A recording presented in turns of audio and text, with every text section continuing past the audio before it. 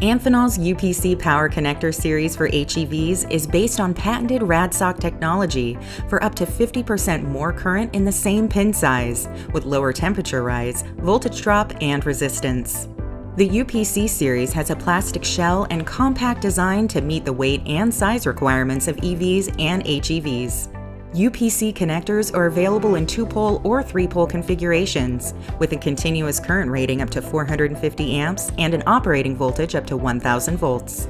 The connectors are rated for a minimum of 100 mating cycles and can be easily installed or repaired in the field, multiple coating options, 360 degree EMI shielding shells, and integrated HVIL are available, and the connectors meet the touch proof requirements of IP2XB, IEC 6529.